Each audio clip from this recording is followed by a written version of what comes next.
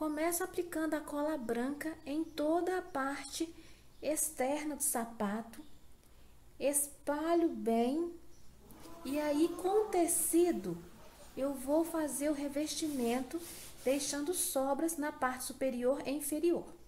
Agora é só fazer aí esses piques no tecido e ir fazendo o acabamento na parte de baixo. Na parte superior, o mesmo processo. Capricha aí na cola. E agora eu vou deixar secar.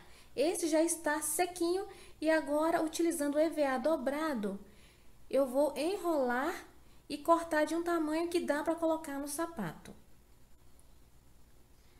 Isso aí é sacola de mercado para preencher essa base. Agora eu coloco o EVA, aplico cola quente dos dois lados e vou firmar bem. Vou fazer o acabamento com fio trançado. E aí na parte de baixo vou colocar uma flor de cetim. Agora já está pronto e eu vou colocar os anéis. Olha que charme que ficou.